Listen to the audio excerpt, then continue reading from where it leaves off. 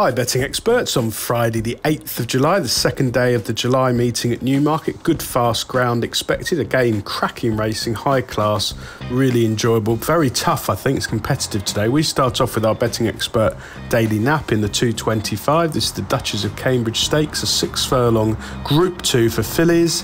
Class 1 two year olds only, £56,710 to the winner. A great chance to compare all the different form lines.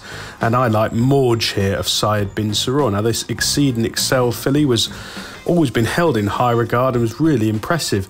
Uh, thought to need the run quite badly on the 14th of May at Newmarket on fast ground, but absolutely stormed clear of believing, winning by four and three quarter lengths in the manner of a top class performer. The runner up's won since, though then has been beaten, and the third didn't do anything for the form, so it's a mixed picture.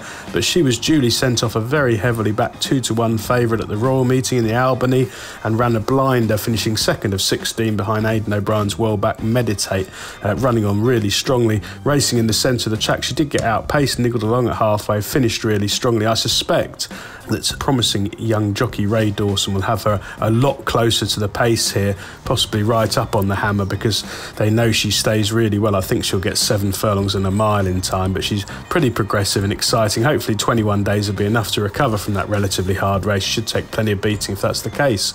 Our betting expert value angle selection runs in the three o'clock. This is the Bet 365 trophy, a heritage handicap, a class two for four year olds and upwards, £51,500 to the winner uh, over the one mile, six furlong trip. And I think Mandoob here has got a touch of class. He's a double figure price, but I think he's got an outstanding uh, claims. He's won two of his six career starts so far, two times in the frame. He's been campaigned as sort of Group 3 listed company virtually all of his career by Brian Meehan. Um, you have to forgive a lesser effort when well backed at York last time out behind Without A Fight. But A, uh, York can be a track where horses do disappoint. They get racing a long way out, and Mandoob did not help his chance at all by pulling too hard in the early stages in that small field contest. I really do think that a, a proper handicap, a well run handicap, will really suit him. He ran very well behind Al Arzi on his seasonal debut at Ascot. And if you go back to last July at this track in the Bahrain Trophy, Group 3, um, he finished second behind Yibir over a mile five, charging home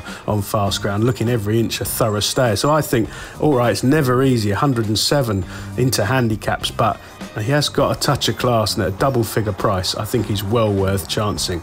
Best of luck on Friday, betting experts.